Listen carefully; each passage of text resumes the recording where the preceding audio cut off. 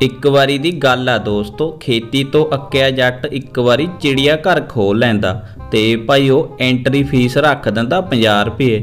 ਭਾਈ ਕੋਈ ਵੇਖਣ ਨਹੀਂ ਆਂਦਾ ਤੇ ਘਟਾ ਕੇ ਵਿਚਾਰਾ 40 ਰੁਪਏ ਕਰ ਦਿੰਦਾ। ਫੇਰ ਉਹੀ ਗੱਲ, ਕੋਈ ਨਹੀਂ ਆਂਦਾ ਤੇ ਉਹ ਭਾਈ 30 ਤੋਂ 20 ਕਰ ਦਿੰਦਾ ਤੇ 20 ਤੋਂ 40 ਕਰ ਦਿੰਦਾ।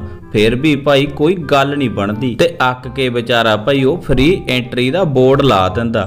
ਤੇ ਜਨਤਾ ਪੈ ਜਾਂਦੀ ਹੈ ਭਾਈ ਟੁੱਟ ਕੇ।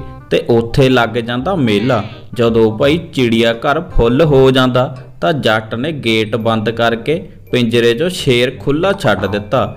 ਤੇ ਬਾਹਰ ਨਿਕਲਦੀ ਟਿਕਟ ਲਾ ਦਿੱਤੀ 200 ਰੁਪਏ ਬਸ ਫੇਰ ਕੀ ਸੀ? ਨੋਟ ਗਿਣਦੇ ਦਾ ਸਾਰਾ ਥੁੱਕ ਮੁੱਕ ਗਿਆ।